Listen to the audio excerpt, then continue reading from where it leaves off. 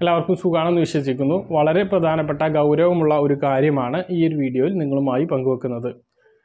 അതായത് പാൻ കാർഡും ആധാർ കാർഡും ലിങ്ക് ചെയ്യാത്ത ആളുകളുടെ പാൻ കാർഡ് അസാധുവാക്കാൻ വേണ്ടി പോവുകയാണ്. രണ്ടായിരത്തി ഇരുപത്തി മൂന്ന് മാർച്ച് മുതൽ ആ പാൻ കാർഡുകൾ പിന്നെ പ്രവർത്തനരഹിതമാകും.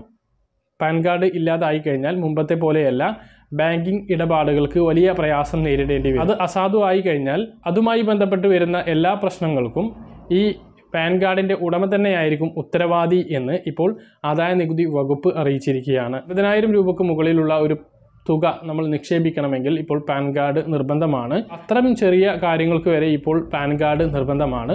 അതുകൊണ്ട് തന്നെ പാൻ കാർഡ് നിങ്ങളുടെ അസാധുവായി കഴിഞ്ഞാൽ പിന്നീട് ആ പാൻ കാർഡ് നിങ്ങൾക്ക് ഉപയോഗിക്കാൻ കഴിയില്ല. അങ്ങനെ വരുമ്പോൾ നമ്മൾ സ്വാഭാവികമായിട്ടും ചിന്തിക്കും മറ്റൊരു പുതിയ പാൻ കാർഡ് എടുക്കാമെന്ന്. അപ്പോൾ നിങ്ങൾക്ക് ഇരട്ട പാൻ കാർഡ് ആവും. ആവും. ഇരട്ട പാൻ കാർഡിന് പതിനായിരം രൂപ ഫൈൻ ഈടാക്കും എന്നും ഇപ്പോൾ ആദായ നികുതി വകുപ്പ് അറിയിച്ചിട്ടുണ്ട്. രണ്ടായിരത്തി ഇരുപത്തി മൂന്ന് ഫെബ്രുവരി ഇരുപത്തി എട്ടിനകം പാൻ കാർഡും ആധാർ കാർഡുമായി ലിങ്ക് ചെയ്യണം. ഇരട്ട പാൻ കാർഡ് ഉണ്ടെങ്കിൽ അതൊന്ന് ഒഴിവാക്കണം. അപ്പം ആ കാര്യം അതൊക്കെ ഓൺലൈനായിട്ട് ചെയ്യാൻ കഴിയും. ചെറിയ ഫൈനോട് കൂടിയിട്ടാണ് ഇതെല്ലാം ചെയ്യാൻ കഴിയുക. മെയിനായിട്ട് പ്രധാനമായിട്ടും പാൻ കാർഡും ആധാർ കാർഡുമായി ലിങ്ക് ചെയ്യുക എന്നുള്ളത് തന്നെയാണ്. പാൻ കാർഡും ആധാർ കാർഡുമായി ലിങ്ക് ചെയ്യാൻ രണ്ടായിരത്തി ഇരുപത്തിരണ്ട് മാർച്ച് വരെ സൗജന്യമായിരുന്നു. രണ്ടായിരത്തി ഇരുപത്തിരണ്ട് ജൂൺ വരെ അഞ്ഞൂറ് രൂപ പിഴയോട് കൂടിയിട്ട് അത് നമുക്ക് ലിങ്ക് ചെയ്യാമായിരുന്നു. അതിന് ശേഷമുള്ള സമയമാണ് ഇപ്പോൾ രണ്ടായിരത്തി ഇരുപത്തി മൂന്ന് ഫെബ്രുവരി ഇരുപത്തി എട്ട് വരെ. അത് ഇപ്പോൾ ആയിരം രൂപ ഫൈനോട് കൂടിയിട്ടാണ് ചെയ്യാൻ കഴിയുന്നത്. അത് കഴിഞ്ഞാൽ ഇത് അസാധു ആക്കും എന്നാണ് ഇപ്പോൾ പറഞ്ഞിട്ടുള്ളത്.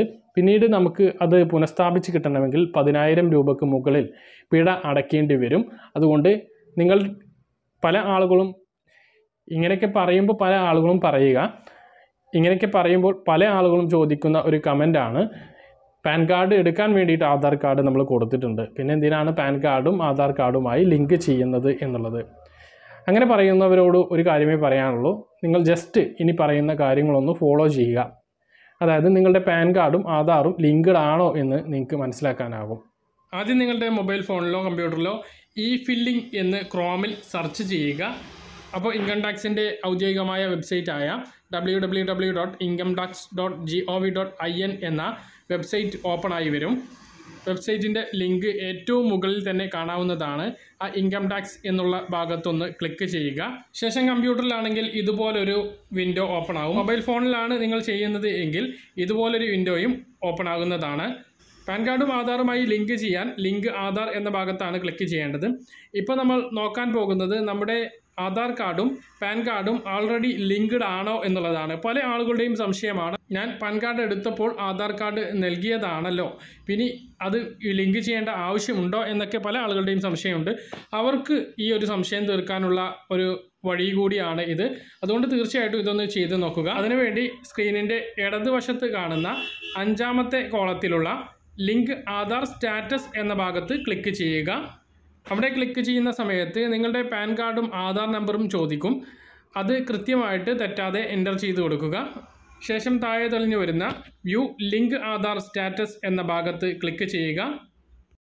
തുടർന്ന് നിങ്ങളുടെ പാൻ കാർഡും ആധാറും ലിങ്ക്ഡ് ആണ് എങ്കിൽ your PAN is already linked to given Aadhaar എന്ന് കാണുന്നതാണ്.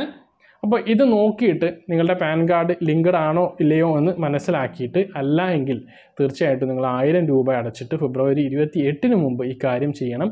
ഇല്ലെങ്കിൽ നിങ്ങൾക്ക് കനത്ത നഷ്ടമാണ് ഉണ്ടാവാൻ പോകുന്നത് പറഞ്ഞ കാര്യം കൃത്യമായിട്ട് മനസ്സിലാക്കണമെന്ന് കരുതുന്നു. ഫേസ്ബുക്കിലൂടെ കാണുന്ന ആളുകൾ ഫോളോ എന്ന ഭാഗത്ത് ക്ലിക്ക് ചെയ്യുക. മറ്റൊരു വീഡിയോയുമായി നമുക്ക് വീണ്ടും കാണാം. ബൈ